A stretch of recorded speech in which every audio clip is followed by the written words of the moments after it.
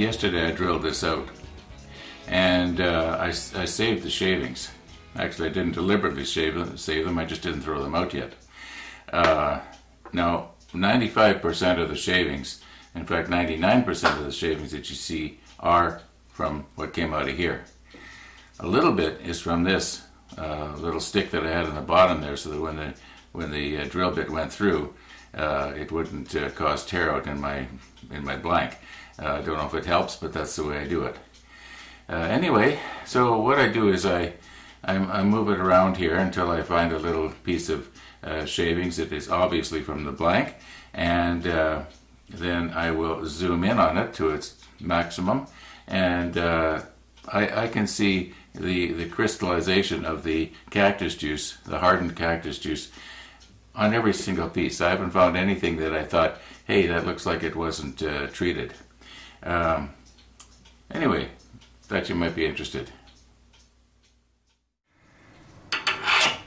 Now, in all likelihood, I will not be pressing this blank into a pen. But I do want to see how it's going to come out. But I got a feeling there's not going to be anything special about it.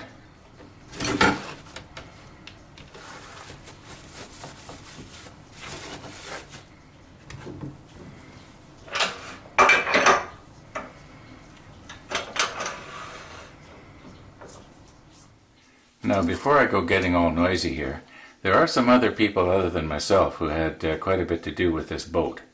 And uh, one of them lives in Ontario, and the others are up at a place called Dory Lake, where this boat actually came from. Anyway, keep that in mind. If you're interested, I'll uh, press it into a pen for you, and I'll be happy to send it to you.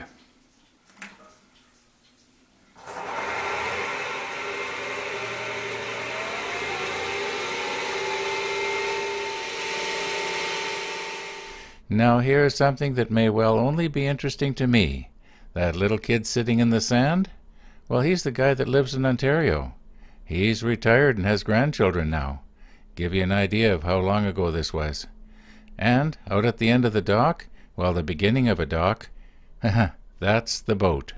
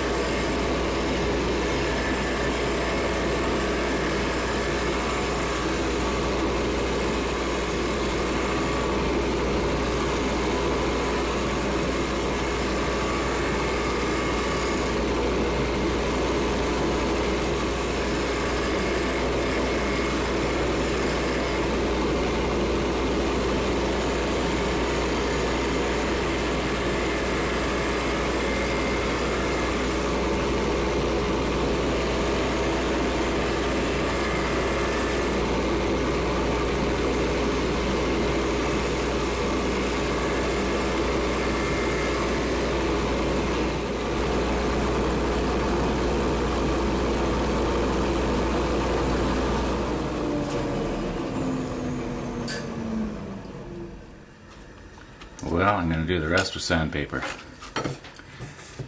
But there's not too much color there. I see a tiny little bit right there. That's kind of disappointing. But it's my own fault. I should have known I wasn't putting enough dye in the stuff. And I should have known I was putting the wrong kind of dye in the stuff. Anyway, see what we can do here.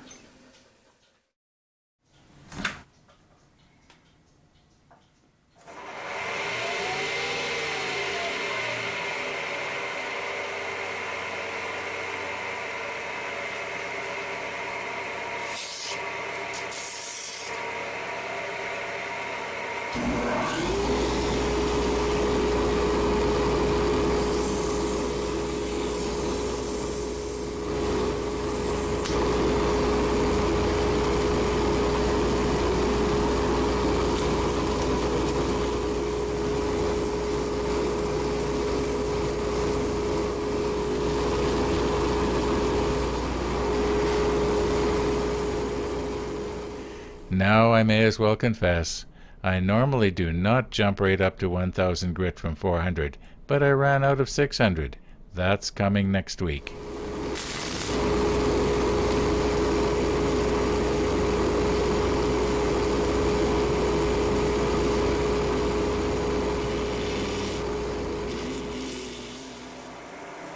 Now to give it a little shine, I'm just going to use the cotton polish here.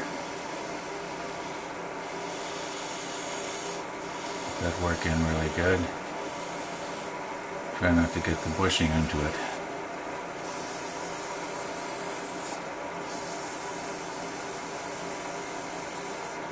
I know I mention this every time I do this, but you can see how the cut and shine will actually remove the bushing, and if I'm not careful, I'll end up rubbing that into the uh, wood. Even though, even though the wood is fairly permeated with the cactus juice, it will still take on a tinge of metal color. Okay. I'll just crank the RPM and buff that a bit.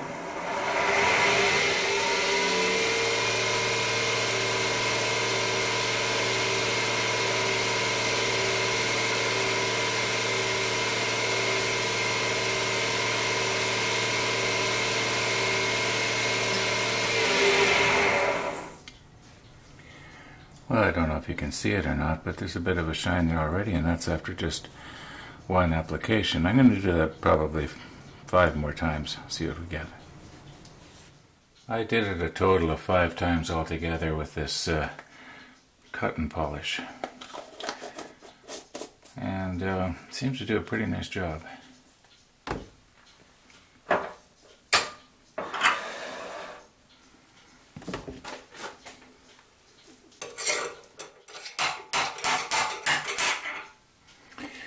Well, let's go get it where we can get the light reflected off it and see what we got. No, it actually shines up a lot better than what you're seeing there. The, I guess I just can't get the light quite right. Anyway, that being aside, uh, yesterday I ordered another little bottle of green dye and uh, probably be here next week and maybe we'll try this again. We'll use a stronger concentration of dye in the uh, cactus juice now I do know that it works really well with Alumilite, so I may just end up using uh, part uh, Blue Goose wood and uh, Alumilite rather than cactus juice. We'll just see what happens. But that's going to have to happen next week when the dye gets here. Anyway, thank you for watching.